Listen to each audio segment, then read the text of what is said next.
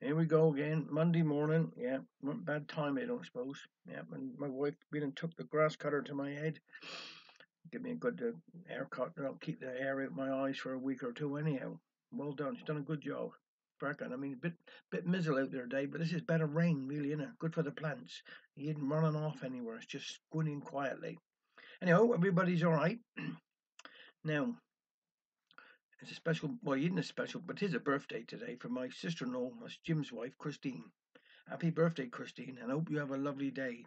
Now, tomorrow I got, uh, there's two birthdays. I'll do tomorrow's because I shouldn't be, thing is, is, it's Grace Darby is one, yes, and the other one is Kathy Gray. So uh, both of you have a nice day tomorrow.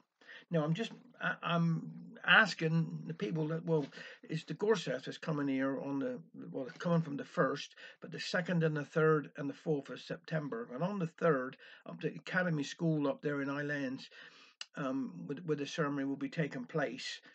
Um, we could do with a bit more help. We got help from all local uh, things, but on, local uh, organisations. But on the day, we could do with help um, with with helping with the teas you know, at tea time when they sit down to a bardic tea, which would be a pasty, saffron cake, uh, splits, uh, jam and cream, etc., and all, and, and uh, you know, it's quite a few there too.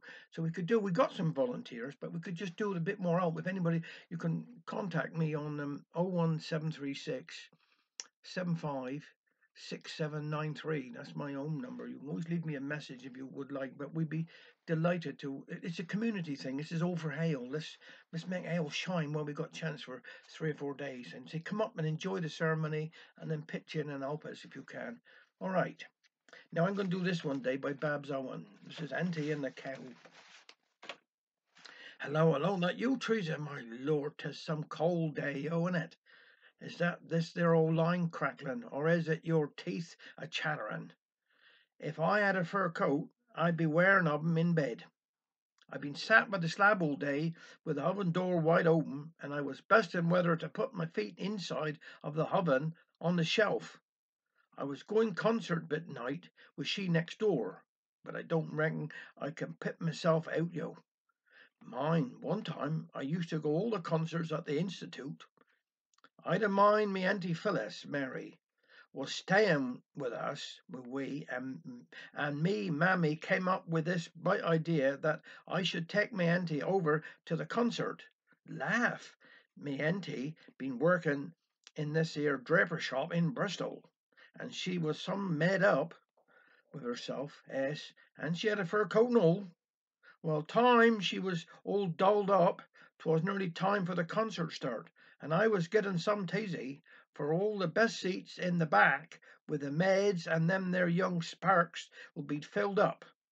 Anyhow, I bested to take the short cut across the Maui and through the fields. There she was, done up in her fur coat and these high buttony boots. First field weren't so bad, but the next was full of old cows. If Auntie was skeered, she didn't let on. I give her credit for that, yo. Well, this here fur coat was near enough the same colour as they cows, and one of 'em took a shine to me auntie. Start off, the old cow just followed on. Then she come a bit closer. Then the faster me auntie walked, the faster this old cow did go. Till come finish up, me auntie was running for dear life, and the gate and the cow was passing and running alongside. In the end, me auntie got to the gate just ahead of the cow, and she jumped up over it like a new one. Her smart hat fell off, yo, and her hair fell down. 'Twas sad to see a time after all the effort she had made, looking so ladylike and purty. Yes, we got concert on time, though my auntie's hat was back to forth, and she weren't any too pleased.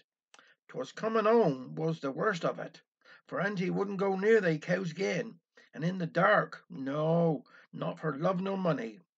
Old Walter had to drive we home in the donkey trap, and he couldn't and he couldn't call that no joyride. Me, Ma had to rub me auntie all over with this here horse liniment.